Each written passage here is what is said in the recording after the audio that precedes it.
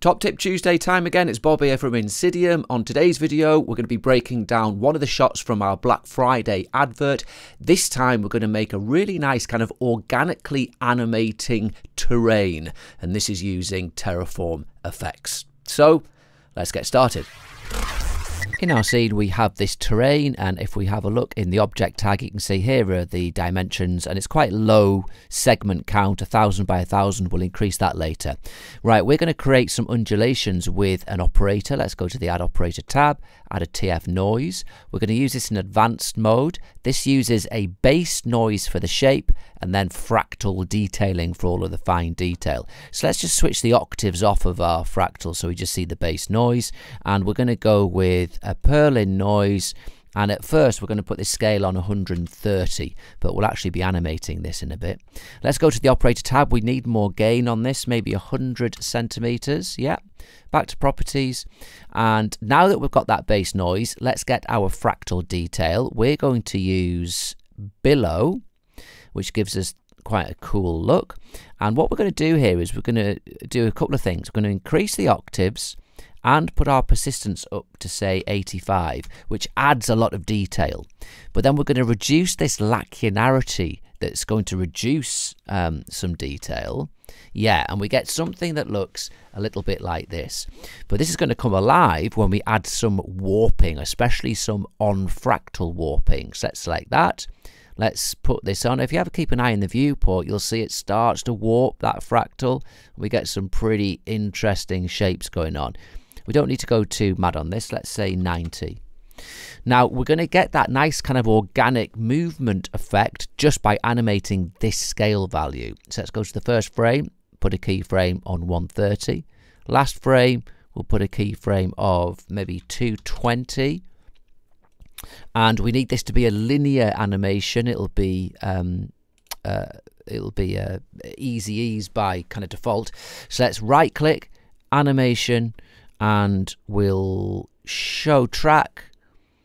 Here's our track with our keyframes selected uh, automatically. And look, so we've got spline mode, which gives gives us kind of a Bezier interpolation. We want linear mode, this button. So click this button. And now if we hit play, there we go. We've got that growing effect. And if we go into the scene camera, you'll see it happening. Very nice. Let's just switch on this redshift sky and sun so we get some nice shadowing in the viewport right now we need some detail so we're going to go to um, in fact before we do the detail let's get our trough made so we're going to go to TF terrain we're going to do it with a gradient operator and if I just switch off the noise you can see by default it's set to radial and it's making this small radial bump let's go to the operator tab and increase that gain up to say 220 so this has just created this peak, but we want a linear um, type of uh, gradient. So let's change it to linear. When I come out the camera, we've got this slope, but it's facing away from where the camera's pointing, so we need to rotate it. So let's go to the gradient coordinates, just rotate it by 90 degrees. Yep, that's what we want. So now we've got this slope, but we need to make a, a, a trough, not a slope. So let's go to the gradient properties tab.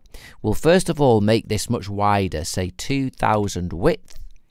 And then let's get this profile spline. And instead of it being a slope, we can just move that back there.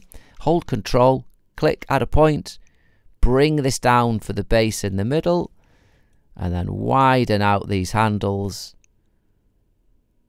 And we've got something that's starting to resemble our trough. Very good. Let's go into our camera to get an idea of that. Yeah, that's looking good. We could perhaps make it slightly wider. Now let's activate that noise. And now we've got this trough of animating noise. And there you can see the effect starting to uh, starting to take place. Now we need some detail. Let's go to terrain, add another TF noise. This one, we're going to um, leave it in these. In fact, no. Look, what we're going to do is we're going to go with a cellular, which is a bit like a, a, a Voronoi noise. And with this cellular, what we're going to do is increase this jitter amount to 100%. We can leave this default, But look, if we go to our warping, let's put our fractal warping back on. And as I increase this, you're going to see this canyoning effect start to happen. Yeah, it's looking very cool. The only thing is we want this to be cutting inwards, not raising above the surface. So let's go to the operator and in the gain, let's put a minus amount, minus 20. And that's now cutting in, it's cutting in these furrows into the uh, ground. Now, this isn't very high resolution yet, so um, it's not looking particularly detailed and it's a bit faceted. So let's go to our terrain now and up the segments. Go to the object tab and we'll put our segments on 3000 by 3000 Yes, look at that detail that's coming. Doesn't that look good? Now we just need to smoothen this off a little bit and we can do that with a blur. Let's go to train, add operator, TF blur. We'll go to the properties, change it to Gauss, which is a higher quality blur. Look, it brings some of that detail back in. Very cool. This is looking very nice now. Uh, we're pretty much there. Let's just go to our Redshift render view and we'll just dock this over here and hit render. So this is going to render it without any materials on just now, but we'll get an idea of how this looks with a bit of depth of field that's set up, and that's that really interesting landscape. And then finally, you can dig into how this material was set up in the scene file, but basically, let's put it on, it uses a Redshift curvature node to identify those furrows that we made and colour them with these two different colours. Um, that's looking really cool. So that's how we can simply set up uh, TerraformFX with TF noise to generate these really nice animating landscapes.